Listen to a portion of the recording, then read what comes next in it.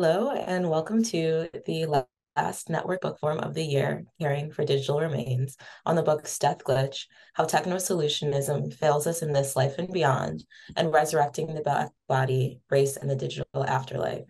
I'm Iratia Kiriade, Network Engagement Associate at Data and Society. Today's conversation is hosted by Tamara Nopper and Labor Futures Senior Researcher at Data and Society, and is supported by assistant producer Tunika Onakikami and myself. For those of us joining us for the first time, Data and Society is an independent research institute studying the social implications of data and automation. We produce original research and regularly convene multidisciplinary thinkers to challenge the power and purpose of technology in society. A quick thank you to everyone who opted in during our book raffle uh, registration. The raffle winners will receive an email in the coming days requesting their mailing address to receive a copy of either Death Glitch or Resurrecting the Black Body. So I'm happy to hand it off to our host and join you all in listening with us to what will be an absolutely engaging and dynamic conversation. Thank you, Tim. Okay, thank you, Arete. Um, Areti. And I want to thank everybody for joining us today. And I especially want to thank Tanika and Areti for co producing this event and um, for Tamara and Tonia for inviting me to be in the conversation with them. So I want to welcome everyone to Caring for Digital Remains, featuring authors Dr. Tamara Kneese and Dr. Tonia Sutherland. The term care is one we hear of often these days. And in labor studies scholarship, the term care has long been interrogated Care is often associated with particular industries called caring industries or care work, jobs are assumed to be labors of love, like home health care workers, teachers, social workers, and domestic workers. This care work is often praised for being essential, but often rewarded with low wages, long hours, and poor work conditions. This work is moralized as righteous, but is often unsustainable, taking its toll on caregivers and it reflects a lack of respect and real investment in a social welfare state and a public workforce. In political circles, care work can be seen as essential labor as well, filling in for the organized abandonment by the state or to fight against state repression. The care, this care work can include mutual aid, supporting protesters, and legal and political defense campaigns. Like the care work associated with the labor market, the sustainability of this collective care has also been questioned. And so today we will be in conversation with two scholars, Dr. Kneese and Dr. Sutherland, whose new books contribute to the body of scholarship and the growing public conversation about care, and consider the politics and labor of care as they relate to death and the internet and caring for digital remains. So, Dr. Kneese's book, Death Glitch How Techno-Solutionism Fails Us in This Life and Beyond, explores the labor, individual, collective, technological, behind digital production and preserving digital legacies. Dr. Sutherland's book, Resurrecting the Black Body Race and the Digital Afterlife, examines how anti Blackness shapes the ubiquity of Black death on the internet, as well as how Black life is digitally commodified. Both Dr. Kneese's and Dr. Sutherland's books consider not only death, but also life, including how the living contend with our future deaths and plan our digital estates, how we tend to and try to protect digital remains and engage in archival practices, how this care can be collective, and how we must negotiate and confront the too often reality of premature death, the risk of visibility, the bureaucracy in terms of use of social media companies and online platforms, and others' quest to capitalize on death. And both consider the labor of caring for digital remains and its toll on individuals, families, communities, and society but also the way that caring can be a form of renewal, resistance, and um, resurgence. So, awesome. Let's start.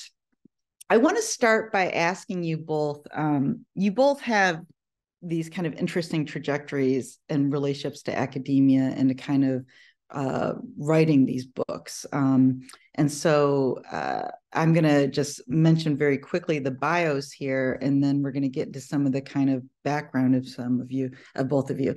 So Tamara Kneese is a senior researcher and algorithmic, algorithmic impact methods lab director at Data and Society. And Tonia Sutherland is assistant professor of information studies at UCLA, University of California, Los Angeles, and co-director of the Community Archives Lab at UCLA and co-founder and co-director of AfterLab at the University of Washington's iSchool. So I want to start with uh, um, you, Tonia. You actually came into kind of uh, writing your book and scholarship and kind of that trajectory in academia through being a librarian and masters of library science and archival work and i was going to ask if you could talk about that a little bit yeah absolutely um, so my my graduate degree is a master in library and information studies, a master in library and information science, actually, um, and then my PhD is is in library is in information studies as well, um, with a focus on archival studies. And so, yes, um, both my one of my pre-professional lives, um, my prior professional lives, was as a practicing librarian and archivist, and um, it was really toward the end of that journey toward the end of my master's in library and information studies that this that this project really started. I really started thinking about this this project. Um, it was at the it was around the time that hurricane katrina hit um, in new orleans. And so that that happened to coincide with me finishing my my my lis degree and um, and really kicking off my my archival career as an yeah yeah. So that is the that is the background there. Um, yeah so i would just say in terms of of how that plays into the book itself um, there is i really consider the records the analog records that predate so i'm looking sort of along a timeline.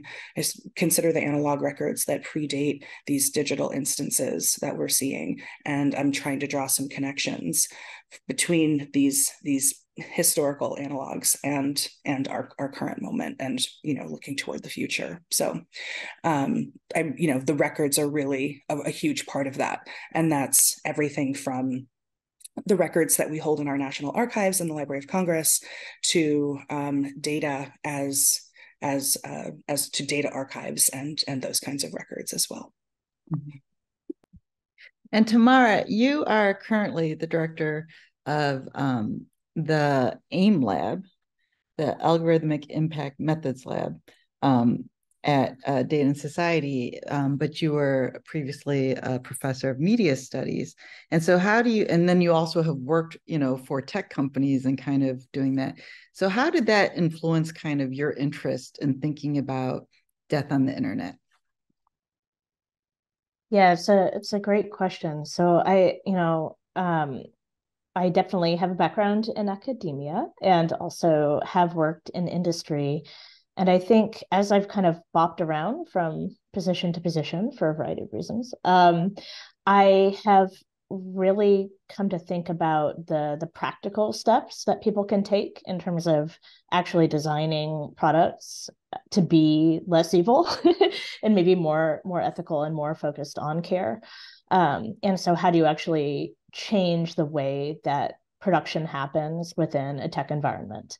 And so, mm-hmm. you know, AIM Lab is definitely an extension of sort of that that desire on my part to figure out a way to really intervene in the way that tech is designed. And um, you know, as I've kind of become more familiar with the field of user experience research, I really have come to think about my book as a way of tracing the user experience of death over time. So, what are the ways that both users and platforms kind of attempted to navigate uh, changing needs uh, when it came to mourning and memorialization through online channels?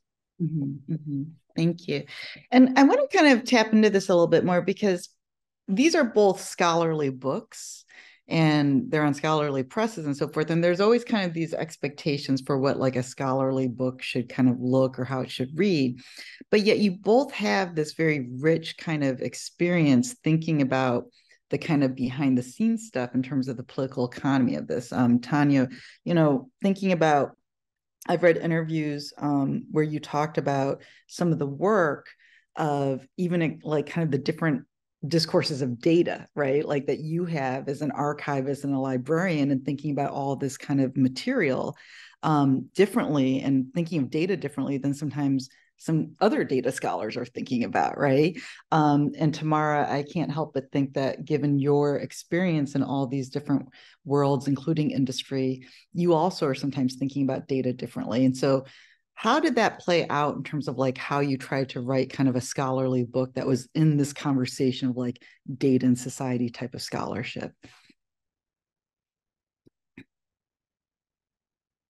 We'll start with Tonia. um, yeah. So, I mean, so, you know, when I think about data, I'm really thinking about the ubiquity of data and I'm thinking about data in all of its forms, right? So, from like data, datum, right? Like from little tiny pieces of information. And, um, that data might take the it might take and i think about data in terms of as as scholars what we collect in terms of of our information gathering and our our scholarship right? So um, there are all of these different resonances and affordances um, when it comes to to data. And i think about it on all of these again all of these different registers. So um, you know i think that it's easy to put data into a category and be like oh you know when we're talking about data this is this is what data is right? But i think if we actually break it down to its most simplest form we think about it in its most basic in its most basic presentation um, there are so many more there are just so many more things that we can consider so many different approaches that we can take than if we we have sort of a singular notion of of what data is and how it functions in society. And so part of what i'm doing with this book too is is really delving into what are these different what are some of these different I, like ways that we think about data the way that data um, perseveres the way that there is sort of a data longevity the way it lives on past past past us um, the data that we create the data that's created about us mm-hmm. um, and then you know data collection data use and reuse. There are just so many different really rich ways that we can talk about data if we expand um, how how we're thinking about it. Mm, thank you. Tamara yeah, I mean, I think at the heart of my project overall, and I think it comes across in the book, is kind of thinking about the relational um, elements of data production and maintenance. So, uh, and maybe this especially is a product of me kind of being in a tech environment, at least um, for a while. So, thinking about the focus on solo innovation and actually in academia too, a focus on solo authorship and kind mm-hmm. of, you know, the lone genius um, as opposed to the network of editors and collaborators and people behind the scenes who enable, um, you know, so called innovation or productivity to actually happen. And with data, I, am really interested in sort of a more anthropological understanding of data as this networked thing that is, um, you know, kind of emanation of kinship ties and can be considered part of leg- legacy making and inheritance. So, um, really thinking about sort of the the kind of intentional forms of uh, data that people produce as opposed to the ambient forms of data um, that also tend to follow them around. And so part of what I was really interested in is thinking about how all of our data that we sort of produce on an everyday basis, or what I refer to as communicative communicative traces, which is perhaps a, an awkward term, but um, you know that they sort of have the capacity to become digital remains but mm. there's this moment of sort of not knowing exactly how data will end up traveling down the road. And so, you know, what will future generations or what will, say, future corporations uh, decide to do with data that is mm-hmm. produced in one context and moves into another? So, um, I think um, part of what I was really interested in is exploring sort of the collectivity and also the fluidity of data in that way. Thank you. And I want to kind of explore this idea of like, what do you both and how do your books address like what do you think remains are right? If the whole idea is like digital remains, what is a remain in this sense? And like, how do you think about it? But how do you think the public thinks about remains or digital remains? We're gonna just go back and forth. So I'm gonna just Tonia, okay. Tonia's like, I'm always gonna be first then whatever to answer the questions. I might switch it up. I have to warn y'all. Okay, go ahead. um yeah, I mean, for me, when I think about digital remains, like remains, and I, I think this is uh this is true for Tamara too. Um I don't want to speak for you, but I I think that we are both thinking about remains, the the word, the terminology of remains, much in the same way like in a digital environment much in the same way that we talk about human remains mm-hmm. right and so it's the it's the it's the digital traces that are left behind after you die it's mm-hmm. your email it's your text messages it's your social media it's your blogs it's your you know it's all of the all of the digital detritus that remains right that that sort of endures even after we are no longer here walking on the planet. And again that includes um, the the the the stuff that we are creating like i'm saying the email the the the texts um, the social media posts but then it also includes the the the stuff that is being collected about us right? This so there's all kinds of meta every time you take a picture there's metadata embedded in that. Every time you um you know the like our our platforms are maintaining caches of of data there are more dead users on facebook now than living users. So all of this i think plays into this notion of remains. Um yeah so yeah Tamara, did you want to add to that? Yeah, sure. Yeah, and I, I think that Tonia and I definitely have um, a very similar way of framing digital remains, and I think we both are uh, showing how they are very well connected to mortuary rituals. So again, you know, my my original sort of academic background was in cultural anthropology, and so thinking about how mortuary rituals are always sort of a way of understanding power dynamics within a society and their values. Um, and so thinking about how that plays out in a digital context, in a platform context, was um, part of what I was really interested in exploring. And I think, you know, with digital remains, they do end up sort of intersecting with other kinds of physical remains. So I think in the the one chapter that I have on illness blogs and sort of the long process of moving from a terminal cancer uh, diagnosis to um, you know loved ones sort of maintaining illness blogs during a person's illness and then after they die and the way that the sort of physical caregiving um, intersects with you know uh, the the sort of digital up, upkeep that they're also performing on mm-hmm. behalf of loved ones and you know the same way that you're kind of sorting out you know records and books and clothing after somebody dies and whatever constitutes a, a physical estate you're also doing that um, in the form of you know people's digital possessions mm-hmm. and thinking about sort of caring for um, you know funeral plans and other sort of uh, things that have to be dealt with um, in the event of a death. You're also at the same time dealing with various online accounts, um, and some of them on a very practical level, like you mm. know uh, online bank accounts and things that are absolutely um, going to be essential for the people who are uh, the mm. survivors. So, um, yeah, I think you know just always thinking about the the deep levels of embodiment and materiality that exist even within digital remains. Mm-hmm. Thank you. Now, I wanted to explore this because there's both of you talked about with the digital remains, kind of, um, you know, thinking about it in terms of like human remains and and and so forth. And there's obviously, you know, um, death is kind of a universal reality that we're all going to experience it. But um, you know, Tonia, your book deals with specifically the black body and the black body not having um, a history of ownership and self authorship in terms of structural oppression and anti Blackness. And so I was going to ask you, what does it mean to think about kind of the Black body in digital remains if part of digital, the idea of remains is also sometimes connected to ideas of like property or ownership? So yeah i mean we have a long history in this country of treating b- black bodies as property um, you know this entire country is sort of founded on this notion um, or built anyway not founded but built on this notion of,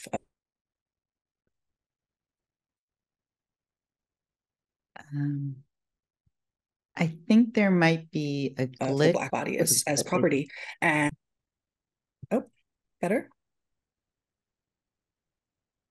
Do you want to say something again, Tonia? Sorry. Um, yeah, I was saying that uh, we have a long history in this country of treating the black body at pe- black people's bodies as property. Um, in many ways, this country was was built, if not founded, on on these notions. And what we're seeing is that this is extending into the digital into digital environments where there is an ongoing lack of of bodily sovereignty bodily um, autonomy. Um, you know again it is uh, when when you already exist in a space where you have not been permitted to make decisions authoritative decisions about your own body and the trajectory of your own life it's just that much more galling to have that then extend into your death or digital af- your your after your death or afterlife experience. And by that i mean we are seeing the ongoing commodification of black people's bodies um, you know reanimating black people's bodies for white audiences for commercial purposes um, you know and that's not really about memorialization. That is about that's about the almighty dollar. And so that's really a lot and, and i mean the the echoes and resonances with with atlantic's with the slavery era in this country are just i mean I could spell them out, but I feel like this is a, an intelligent audience and that's you know it's that I, I feel like those resonances in particular are are particularly clear.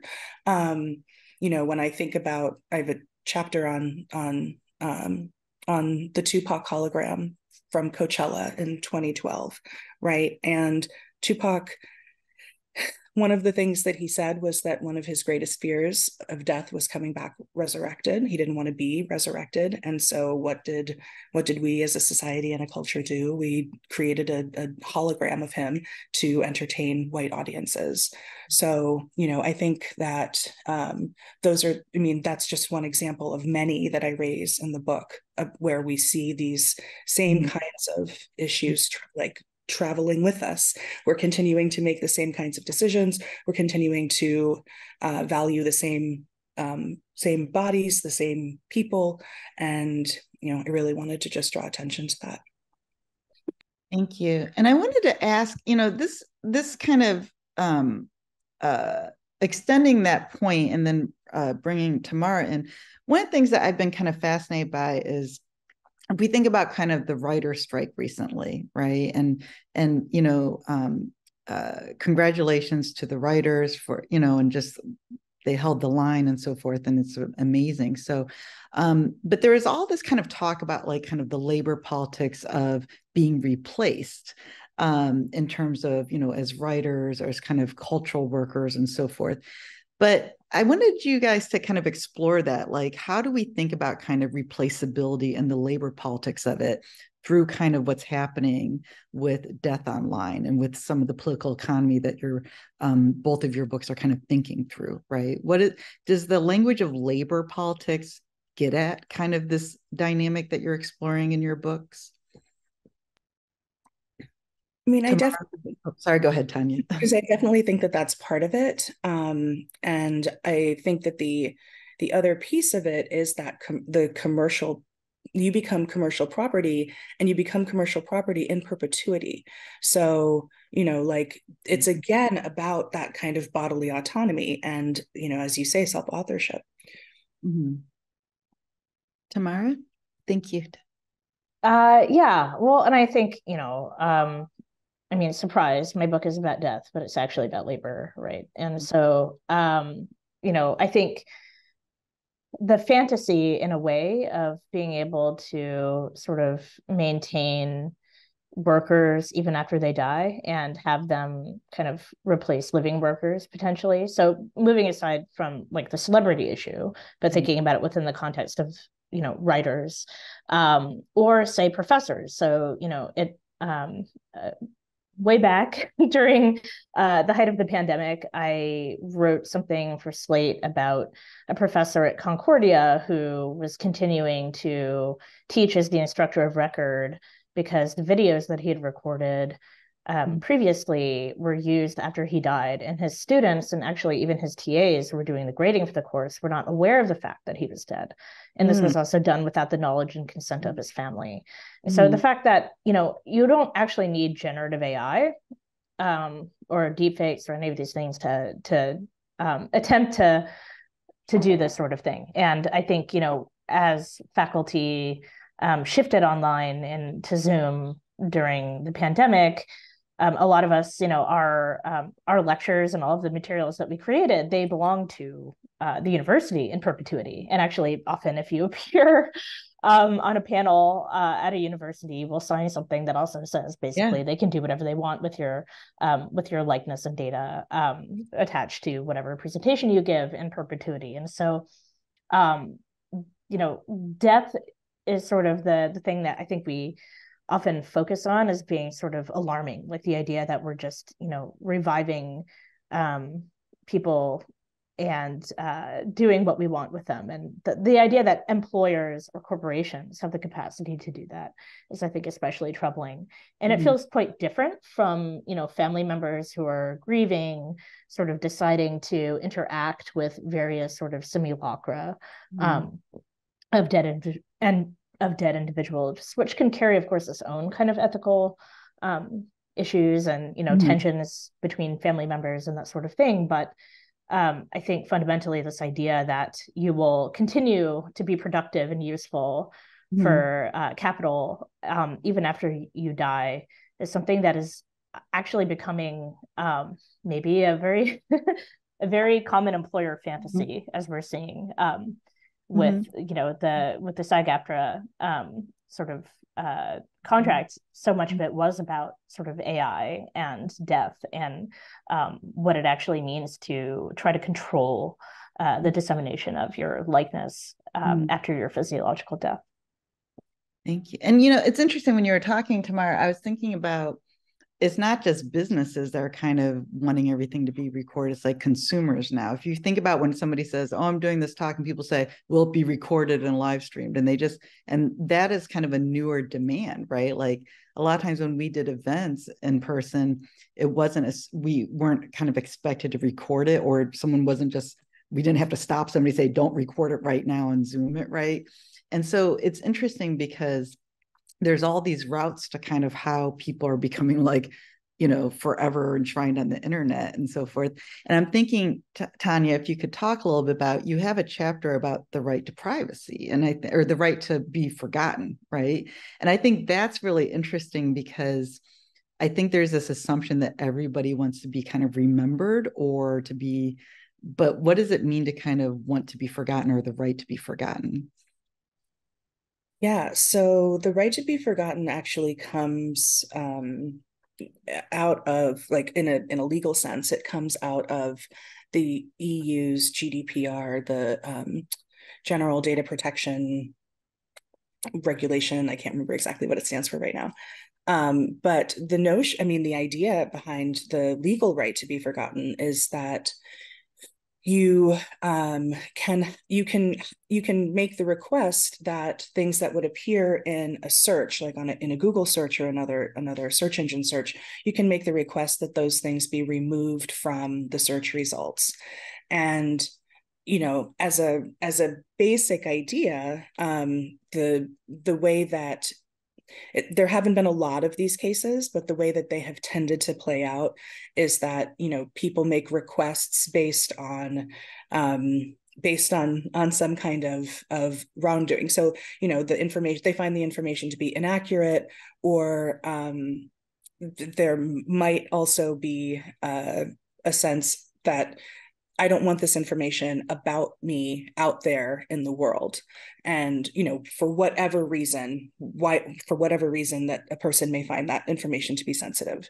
Um, typically again it's that they find it they feel, feel it's inaccurate but also it's it's being portrayed in a in, in a poor light um, and a lot of those things a lot of those requests actually have to do with with criminal mm-hmm. criminal behavior mm-hmm. so um or perceived criminal behavior um so you know i i i think that extrapolating out from this legal this legal right this this way mm-hmm. that we think about it in terms of you know what are your legal rights to be forgotten we have also divine and human rights mm-hmm.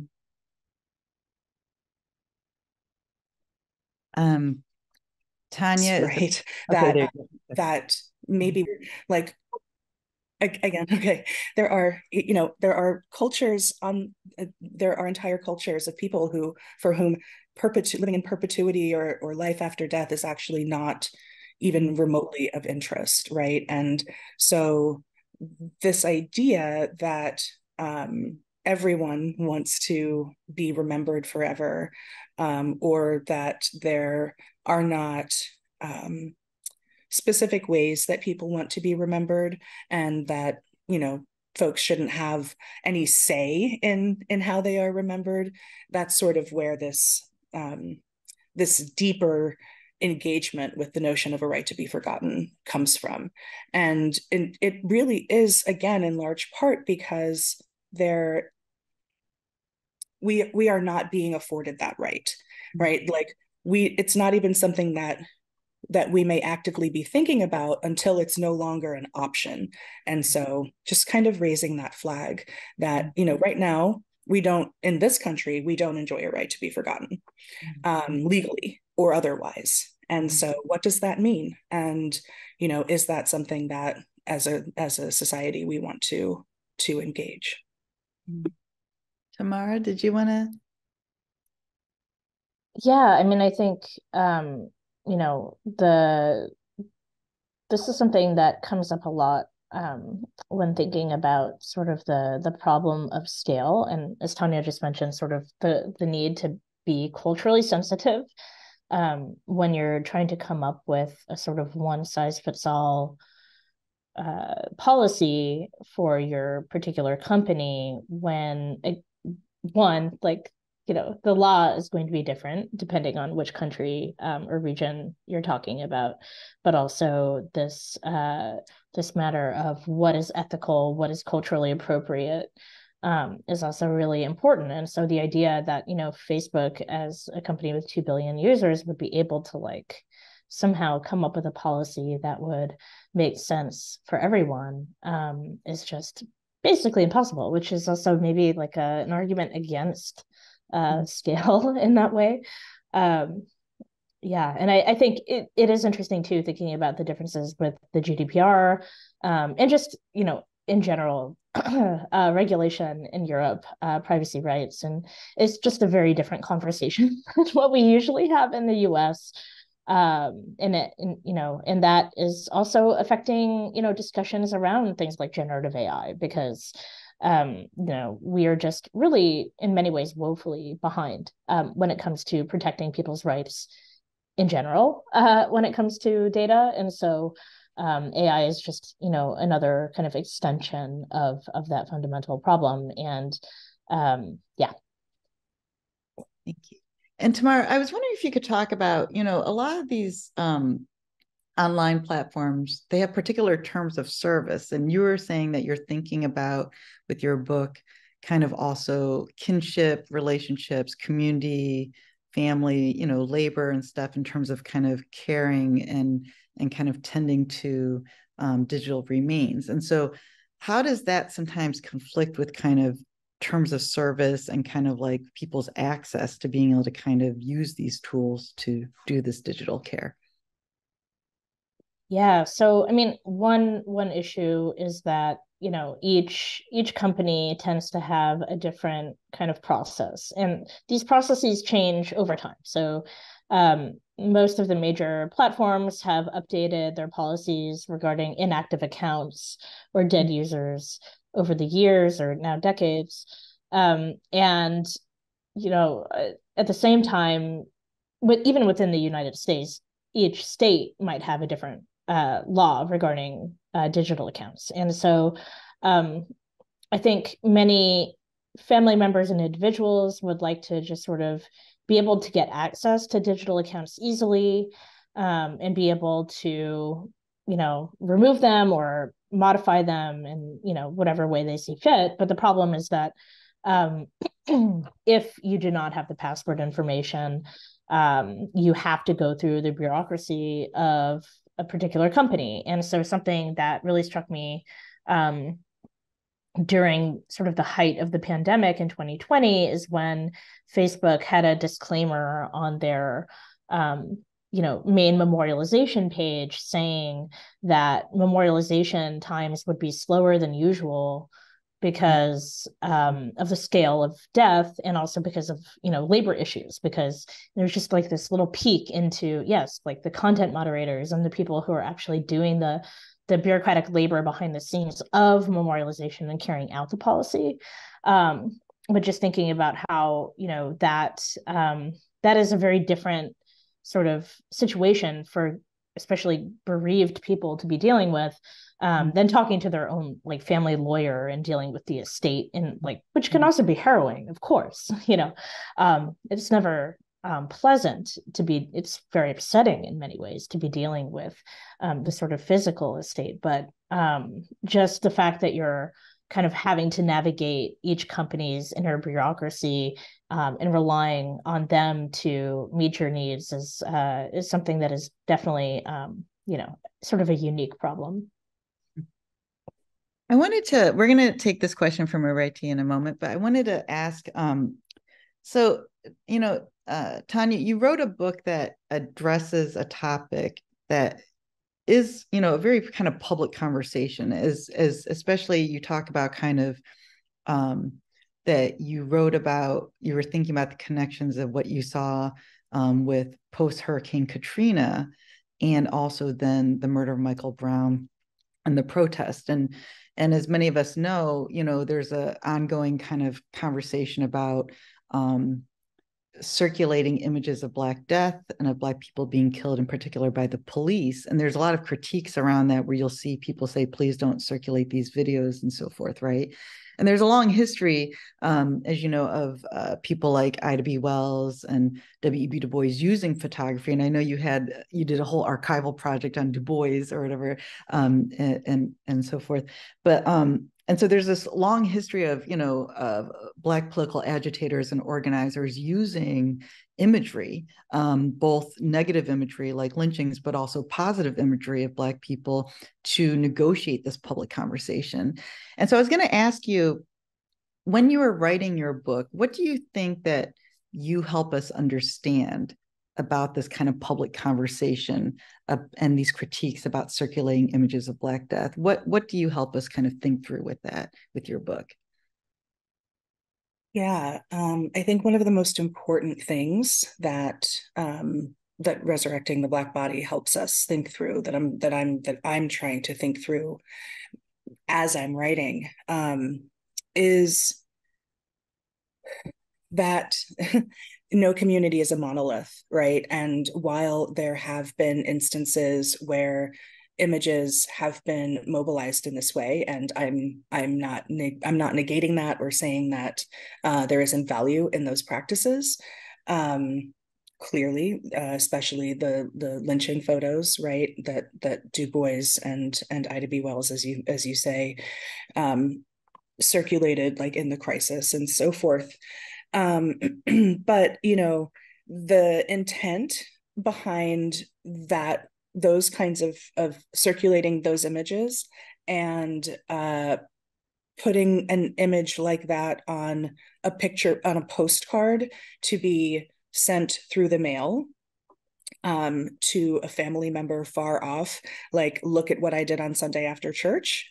Um, you know the the there are there are different ways that these images have been mobilized. Um, more often the way that they are mobilized is nefarious than uh, than it is productive. Um, and I would say that there are people who have very specifically made their wishes and intentions clear, or their positions and or positionality clear.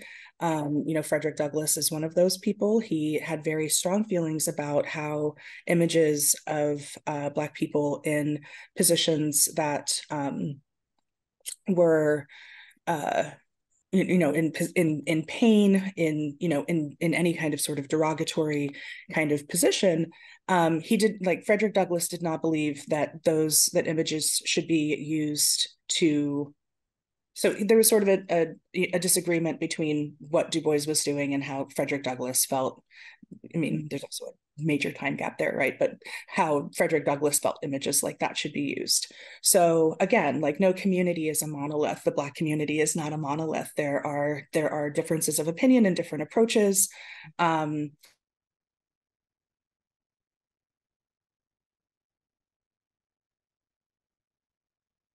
I think, but I think what what is at Frederick Douglass knowing that Frederick Douglass, you know, makes this statement, and then we see him reanimated through um, deep nostalgia, right? Through through tech, and mm-hmm. that's not that's that's specifically sort of the antithesis of of what his his stated wishes were. So, Thank I don't know if I really answered your question. Yeah, thank you. And I want to ask both of you, you know, um, given what is happening to Palestinians in Gaza, we're seeing a lot of death on the internet. We're also seeing a lot of people um, uh, also wanting to be remembered. And we're seeing also kind of political mobilization um, around um, trying to challenge um, the occupation and calling for a ceasefire um, in terms of what is happening to Palestinians in Gaza. And I was wondering, you know, and so the timing of your books um, are coming out and they're being circulated interesting moment. And I was going to ask you, what do you think your books help us understand about this current moment and about what we're seeing in terms of the violence and the horrific treatment of Palestinians in Gaza? Tamara, did you want to go first, please? Uh, sure. Yeah. Um, so I think, you know, sorry, there's a beeping in my laptop. Um, there are um, a lot of issues around sort of who actually is being publicly grieved, right? And um, who has a sort of name and personality and story attached to their to their deaths and who does not. And so you know what i think what i do see is a, a really strong um, activist intervention and you know humanitarian intervention on uh, Twitter, which I mean many of us have kind of moved away from Twitter, especially as Elon Musk took over and it became unusable and terrible as X, but um, in this moment, it's become extremely important. It has also become a space for people to um, write, you know, memorials for themselves, knowing that death might be impending. Um, it has become a way to document people's humanity, their stories, and their deaths, and make them visible. Um, and it's also become a way to document war crimes. And so um, thinking about how Elon Musk actually uh, recently shifted X's policy and began to delete inactive accounts. Um, and many users were really upset because they had really thought of the, you know, um, Twitter timelines of loved ones as being part of their um, sort of digital remains, and they were memorials to the dead. So um, in this moment, it feels especially important to be able to capture um, these people's lives and their stories, and also to acknowledge their deaths in a in a very visible and meaningful way. Um, and I, I, I think that you know mourning has really been central to to a lot of the activism right now. So really acknowledging grief mm-hmm. um, and the the humanity of the people who are being murdered in in Palestine. Tonia. Thank you, Tamar. Yeah, you know, I think for me, I would just, um, I would, I would caution care, um, because there's a certain amount of misinformation, disinformation, right? We know that, um, we know that images can be faked. Um, I'm not saying that that that is the um, that that's the, the sort of overwhelming uh, case here. Um, I don't think that's true, but I do think that there are instances where we are where we're some of the images that we're seeing aren't even aren't real images, mm-hmm. um, and so I would just caution, I, I you know, raise a, a, cautionary flag there, and then also caution care in terms of um, in terms of the the unexpected encounter, right? And this is the argument that I'm making in resurrecting the black body too, that you know when as you are scrolling um, you are not necessarily expecting to encounter a violent murder or um, you know a, a, a, dead body or piles of dead bodies. Um, and you know i think i think that there is an important as um, as uh, as tamara said i think that there's a really important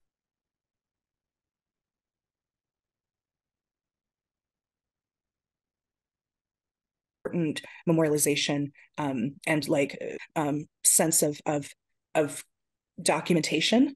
Um, and I think there are I think you know on the on the flip side of that, there's also that that unexpected encounter with a traumatic image, and you know war is traumatic, and we are all eh, you know on some on some level experiencing that trauma. Um, so you know I think we I think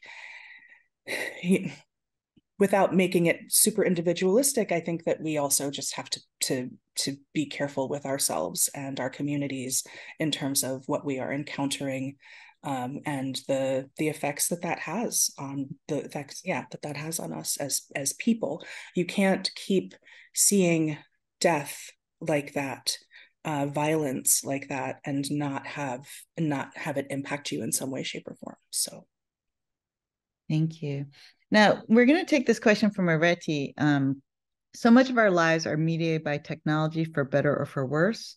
How do you grapple with the temporality of our digital environments? Do you have any prized archival practices? If so, are they different from standard practices of digital hygiene?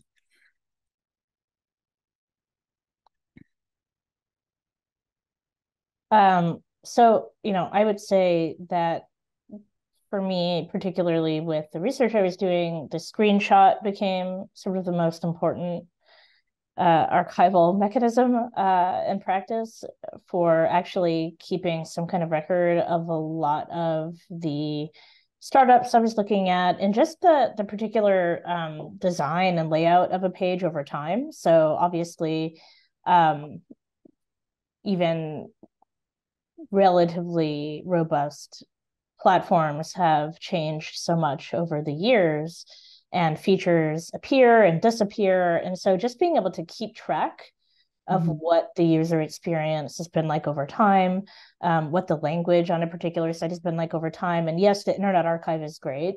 Um, the Wayback Machine is great, but it cannot capture everything. Um, and my screenshots can't capture everything. And so, um, you know, I would say that in terms of uh, you know a sort of general practice, the the screenshot has been perhaps the most useful one. Um, I also I so I see a comment from Matt McMahon in um, about Twitter allowing people to permanently archive and memorialize the accounts of deceased loved ones, and I just want to say that one problem that I raise in my book is that um, you know memorialization policies require people to actively go ahead and do that work um, and that that is often not the case. And so um, there are many cases where people have just sort of wanted to leave a profile as it is, or they may not have direct control over it. So, um, you know, the family member might be able to, you know, do something like memorialize a, a Twitter account, but a network of close friends and internet friends and readers and other people who are attached to the the particular archive might not actually have any control over mm-hmm. it. So just flagging that. And i just want to also say tamara you know i think you also push us to think about the environmental impacts of kind of memorializing digital remains um, you know and could you talk a little bit about that yeah and that that's something um, especially because I was thinking so much about sort of sustainability within the context of things like data centers and software and what are the carbon emissions attached to all of the data that we're producing and trying to maintain. Um, and this problem of, you know, uh, preserving data in perpetuity and the idea that um, even if the you know the transhumanists are right and we're all going to uh, upload ourselves into the cloud and live on as happy uh, disembodied you know perfect beings and have ai take the wheel um, you know all of that depends on very massive you know massive data centers physical infrastructures energy water other resources in addition to you know the humans who actually like maintain maintain these infrastructures and systems. Um and so um you know that that's definitely been um sort of top of mind for me recently especially when we're thinking about the incredible environmental impacts of generative ai especially um and so thinking about like high energy workloads um, in this notion of sort of just maintaining the cloud indefinitely is something um, that seems especially problematic. And so finding ways to care for the digital dead without relying on these systems, um, you know, how do we how do we change that? Um, and that, yeah, that's definitely something I've been thinking about. Thank you. So we're going to take, I think we have time for these last two questions here. So one is um, uh, from an audience member. Thank you. Um, how do you think that, especially with reanimated historical figures, how the resurrection of people is a result of this demand that especially people of color in the United States always have to prove or perform being, quote, human? Um, so that, um, would anyone like to take that question? Either one of you? Sure, I can speak to that a little bit. Um, I also wanted to say, with regard to the the previous question, um, you know, archivists, we aren't trying to keep everything, right? Like that's not actually the job. Um, it's not possible. And so, what we keep instead is a representative sample.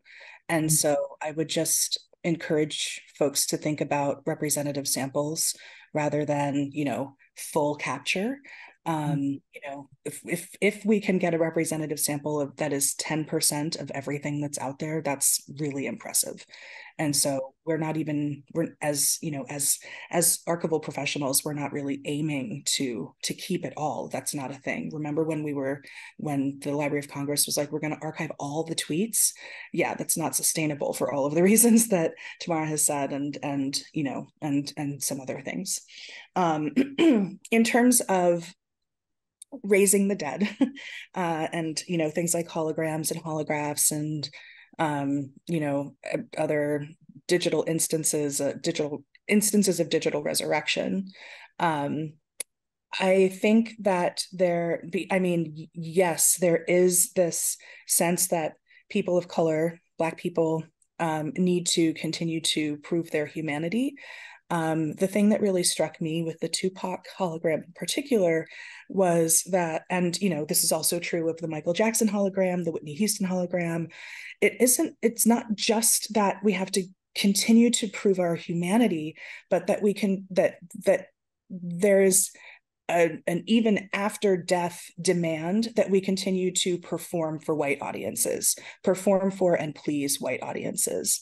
Um, it's a it's a it's a step and fetch it it's a you know what i mean it's it is keep dancing we want to we want to we want to see those those great moves even after you're dead so can you please continue continue to feed um, to culturally nourish nourish the country while even after you are dead so mm-hmm. i think that you know just as much as there is this ongoing like i still have to prove that I'm human. It's also an I'm I'm here for entertainment, whether I'm alive or dead. Yeah, uh, Tonia, when you were talking, I was thinking about like uh, the philosopher Lewis Gordon says, like the modern world hates to see Black people resting, and so it's also just this question about like, do people when they die, including very prematurely, like Michael Jackson and Whitney Houston, Tupac Shakur, do they get to ever rest? You know what I mean? Um, so we have a question. Thank you. We have a question, and we'll let this be uh, the last one. Um, and so I'm curious about the degree to which those who inherit a loved one's social media accounts might be inclined to take a curatorial or editorial role with it. Like, do we see instances of people deleting their loved one's controversial post or unflattering pictures? Are there any structures in place to prevent this? I see this being particularly applicable to the relatives of celebrities or other high profile individuals we might want the deceased to be remembered a certain way or for certain things. So, you know, I think both of you have been, um, and this is something that you talk about in your books about this is very relational in terms of like how do people remember somebody, but also want somebody to be remembered and what role do they play in how then they care for the digital remains. And so um, this will be our last question for both of you. Tamara, do you want to go ahead? Yeah, sure. Um, yeah, definitely. Um, that's a great question, Harry. And you know, generally speaking, yes. I mean, I think if you know loved ones and family members can go in and slightly edit um, people's profiles, they will do that. And even with um, so with the illness blogs chapter, again, part of the kind of care work that people were providing was editing people's words um, and posting on their behalf and doing things to kind of help curate um, the the kind of digital legacy that they were leaving behind to make sure that it sort of maintained the person's voice um, that you know in a way that they would have wanted. And so that that's a perform that's a kind of care work that um, can you know entail not just sort of like scrubbing images um, or deleting kind of like uh, questionable posts or something but also um, just the process of kind of making sure that the person is represented in a way that they they would have chosen. Um, and I'll say, you know, it is interesting too because um, thinking about sort of newer uh, platforms that don't necessarily have a memorialization policy in place yet. So, like TikTok um, is one example, and I know that they are working on it, but um, it's the kind of situation where um, it is actually quite difficult um, in cases like that for people to actively sort of go go in there and curate um, and uh, so that that's something that I think will be of particular importance going forward. And from talking to a lot of sort of um, people in the field of digital estate planning, something that they've been paying particular attention to um, is the sort of influencer or sort of um, yeah the platform celebrity and um, what it you know what it would mean to try to like scrub their image after the fact particularly if there is some sort of like monetization involved um, mm-hmm. um, and so yeah that's like another another side of it that uh, i think might be increasingly um, relevant thank you tonia yeah, I mean, I think once again, we can see the analog roots of this, right? Like people have long been um, reframing loved ones, deceased loved ones, um, memories for public presentation. And I think that we're seeing that in in the digital environment as well. Um, I think you know one thing that sort of heightens it in in digital environments or in the digital sphere is that we are so prolific right generally speaking we're so prolific in in in online. And so there's a lot of content there. And you know a, a loved one almost has to act themselves as a content moderator. Mm-hmm. so you know one quick quick example um, i had a cousin who passed away suddenly unexpectedly um, her parents did not know that she had a facebook page this was you know, almost a decade ago now. Her parents didn't know she had a Facebook page. She had been off at college for her first year and, you know, off at college doing the things that first year college students do. You know, there are pictures of her drinking and partying and hanging out with her friends. And um, when she passed away, my cousin, it, the, the page became a memorial page, and her brother went in and scrubbed all of that stuff so that their parents wouldn't see it. So, you know, I think I think people have all kinds of reasons for doing that as they have since, you know, the the beginning of time, right? Like we I think we are we're what we're looking at here are the affordances of the digital and um, how things sort of shift and change in digital environments. Thank you. So I just want to um, we're going to, Areti is going to close out the event with some very brief remarks, but I just want to thank again uh, Dr. Tamara Kneese and Dr. Tonia Sutherland. Um, Dr. Kneese's book is Death Glitch How Techno Solutionism Fails Us in This Life and Beyond. and Dr. Sutherland's book is Resurrecting the Black Body Race and the Digital Afterlife. And I want to thank everybody here for attending and for the wonderful questions. And Areti, Areti. Yes, thank you all so, so much, Tonia, Tamara, Tamara, and everyone who supported this event behind the scenes, especially Tunika Onekikami, producer of this event. Um, and best of luck to those of you who entered the book giveaway. We'll be contacting the winners soon to request your mailing address. And finally, thank you to every single person that joined us today or will be watching or recording online. So take care, everyone. Bye.